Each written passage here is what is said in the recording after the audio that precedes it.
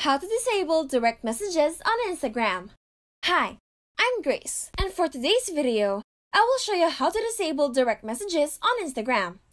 Before we get started, if you're new to our channel, please make sure to hit like and subscribe to be updated for our new releases.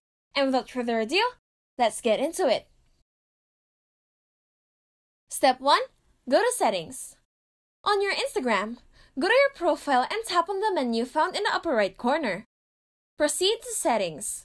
Step 2. Turn off Notification. On Settings, tap Notification, then Messages, and turn off all the message notifications. Afterwards, go back once and proceed to Calls. Turn off all notifications there as well. And that's it!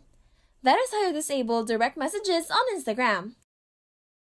We hope this video is helpful, and if it did help you, Make sure to smash that like button and hit subscribe to our channel for more helpful videos.